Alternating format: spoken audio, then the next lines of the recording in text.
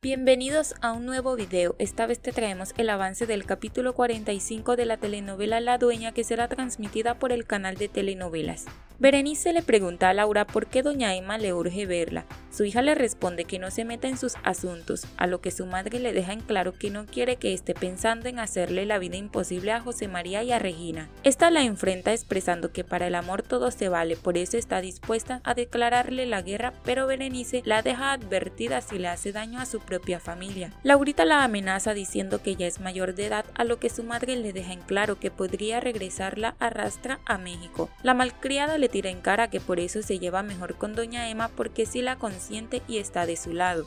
Mientras tanto, los tórtolos están en su momento romántico y Regina le pregunta a José María si de verdad la quiere. Él también le pregunta si acaso duda. Esta le informa que es una manera de saber que aún la ama. José María le deja en claro que la quiere y le pregunta por qué sigue sorprendida de haber participado en el seminario. Así que le explica que en la época de antes no podía estar libre y le confiesa que desde muy pequeño su madre lo dominaba. Regina expresa que todo debe ser por el carácter fuerte de doña Emma. José le manifiesta que la realidad de su madre es una mujer posesiva y dominante ya que siempre lo ha obligado a hacer lo que ella quiere, por lo tanto decidió librarse de ella. Regina le pregunta si está incluida dentro de lo que no le gusta a su madre. José María le deja en claro que eso no es lo que importa porque la ama y se dan un beso. El padrecito le aconseja a Consuelo que recapacite porque no está de acuerdo con que haya dejado el trabajo de la iglesia. Consuelo le hace saber que no va a permitir que la señora Villarreal le pague su sueldo sabiendo que es la mujer de Macario. El padrecito le hace ver que eso es un chisme que han levantado contra ella, pero Consuelo le asegura que sí es cierto. Entonces el padre le manifiesta que está pecando contra Dios por haber creído esos chismes y le pregunta si acaso cree que la señora se relacione con Macario. Consuelo expresa que Dios la perdone porque está sintiendo celos y esa es la única verdad. Por otro lado, Regina y José María han cabalgado y se colocan a platicar dándose un beso, pero Macario los interrumpe. Regina le pregunta qué hace ahí a esa hora de la noche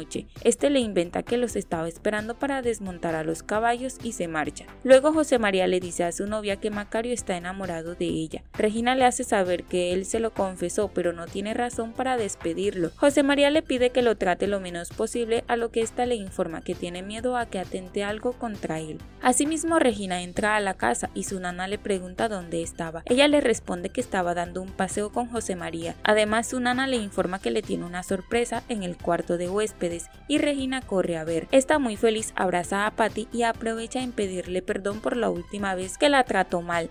Patty le informa que no se acuerda de eso. Ellas se abrazan exclamando que tienen muchas cosas de qué hablar, sobre todo de la escuela que quiere colocar en el pueblo. Por otro lado, José María conversa con su padre y este le hace saber que su madre tenía razón y tal vez deben solucionar sus diferencias. José María queda feliz y su padre le pregunta si es por Regina. Su hijo le responde que sí, porque ella es la mujer más maravillosa del mundo y lo trae loquito. Mientras que Regina también le está contando a Patty lo encantador que es José María. Ella le hace saber que si se quieren es porque se van a casar. Regina le manifiesta que no había pensado en eso porque solo pensar en una boda le da horror. Patty le recuerda que su boda con Mauricio fue su mala experiencia, pero le aconseja que no puede repetirse esa misma historia. Además le comenta que se encontró con el pobre, pero que está siendo sospechoso por la muerte de Leandro. Del mismo modo le entrega una carta que Mauricio le mandó. Regina la agarra y le dice que después la leerá. Laura le pregunta a Marta con quién está su prima. Ella le responde que está con una amiga y esta quiere entrar a la habitación para interrumpir, pero Martita la detiene avisándole que en la sala está el joven Ismael. Laura la regaña por haberlo dejado entrar, pero esta le deja en claro que el hombre siempre entra a la fuerza. Laura la trata de inepta y va a buscar al tipo, reclamándole por buscarla. En vista que está bajando Regina y Patty se lleva al pobre a la fuerza y en el jardín le deja en claro que no quiere nada con él. Ismael le suplica que deje de mostrarle su amor, pero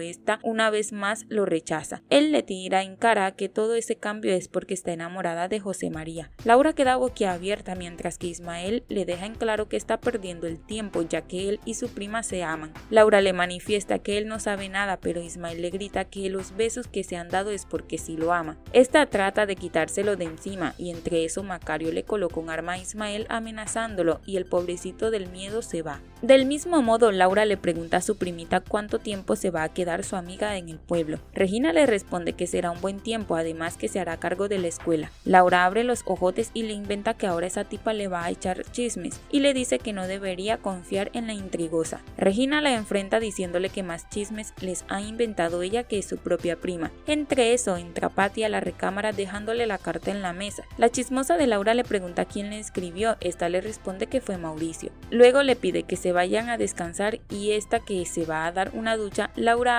para tomar la carta. Cuando la está leyendo se da cuenta que Mauricio le pide perdón a Regina, pero la está advirtiendo de cuidarse de Laura, porque no va a descansar hasta haberla destruido. Patricia la descubre y le reclama por haber leído la carta de Mauricio. Regina le arrebata el papel y le dice que puede ir corriendo a contarle a José María que recibió una carta de Mauricio. Esta en pánico se va corriendo, a lo que Patty le aconseja que esté prevenida ya que Laura siempre la ha envidiado. Regina le comenta que sabe que su prima está enamorada de José María y no soporta que él haya preferido a ella. Su amiga le dice que lo mejor es que descansen y Regina termina de romper la carta y la bota. Octavio le dice a la enfermera que se quedó toda la noche esperando que Macario regresara por su amigo. Ella le informa que los dos deben ser de la misma calaña y entre eso aparece el cínico y Octavio le reclama por no haber llegado ayer. Este le responde que tuvo muchas cosas que resolver, así que le dice que va a ver a su amigo. La mujer le informa a Octavio que Macario es el padre del niño que perdió Consuelo. Este queda asombrado de todo lo que está escuchando y le dice que no sea una de las malas lenguas que andan hablando chismes.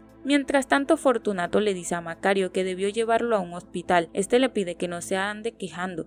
Su amigo le recuerda que se lastimó su pierna por haberle hecho un favor. Macario molesto le deja en claro que no hizo el favor completo ya que tenía que matar al tipo. Fortunato le dice que él no es un asesino y lo amenaza con decir que recibió órdenes de él. Macario lo agarra por el cuello, pero en ese momento entra el doctor y le pide que se vaya de su consultorio. Luego Fortunato le pregunta al doctor si de verdad le van a cortar la pierna. Él le dice que no está seguro, pero le aconseja que le diga a la señora Villarreal que lo envíe a otro hospital. Este, que ya está amenazado por su amigo, entre risas le dice que confía en él y se quedará en su consultorio. Por otro lado, en el desayuno, Berenice se alegra de que Patty ayude en la escuela. Ella le hace saber que va a ayudar a su amiga. Luego se entromete Laura y le tira en cara que seguramente llegó al pueblo para seguir a Octavio, ya que él está haciendo su labor allí. Patty asombrada les hace saber que no tenía idea, pero Laura le dice que no se haga la tonta porque Octavio está enamorado de ella, pero sabe muy bien que no le va a prestar atención y le insinúa que él está fijado en una pueblerina.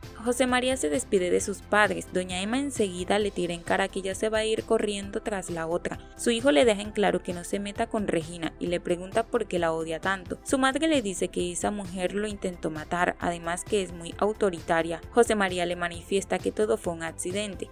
Por otra parte, Lucio le informa a José María que su madre le pidió que la llevara a los cascabeles porque deseaba hablar con Regina, pero le suplica que no le diga que él le comentó porque doña Emma lo amenazó con correrlo de la casa si le desobedecía. José María le dice que esté tranquilo ya que él lo va a cubrir y le agradece por su confianza. Mientras tanto, Regina le dice a Patty que le va a presentar a su novio. Entre eso, Macario las interrumpe y les hace saber que deben hacer el recorrido de todas las mañanas. Regina le informa que no lo harán y le reclama porque los niños no fueron a la escuela. Este se excusa ya que Fortunato está mal de la pierna. Regina le deja en claro que hay otras maneras de transportar a los niños y le pide que se encargue de hacerlo él mismo. Patty queda asombrada por el carácter con el que Regina le habla a sus empleados. Berenice está preocupada y su madrina le pregunta qué le pasa. Ella le hace saber que la actitud de Laura cada día es peor porque no sabe cómo darle su apoyo en lo que ella desea, pero tampoco puede ponerse en contra de Regina porque quiere a las dos como si fueran sus propias hijas. Asimismo, Patty conoce a José María, luego este le informa a su novia que necesita hablar seriamente con ella. Regina le dice que no la asuste pero hablarán en privado. Por otro lado, Severiano le pide a Goyo que cuide todo lo que es suyo porque sabe que en cualquier momento se va a morir. Su compadre le pide que no diga esas cosas. Luego se encuentran con Berenice y esta que está visitando la tumba de Margarita le cuenta que su hija es feliz y ama a un buen muchacho. Luego Severiano se le acerca y ella se recuesta en su hombro. José María le pregunta a Regina por qué no le contó que su madre fue a verla. Ella le responde que no quería causarle problemas con doña Emma. Su novio le pregunta qué habló con su madre esta le comenta que ella le ofreció vender unas partes de sus tierras a cambio de alejarse de él. José María se enfurece porque le había advertido que no se metiera con ellos. Su novia le pide que se tranquilice ya que ella no va a permitir que su madre los separe. Su novio le pregunta si de verdad lo que siente por él es amor. Ella le responde que sí. Entonces José María le pide que luchen en contra de su madre, de Laura y de todos. Regina le pregunta qué le propone. Este le dice que se casen, pero Regina queda enmudecida. Hasta aquí este avance. Si te ha gustado déjanos un like y una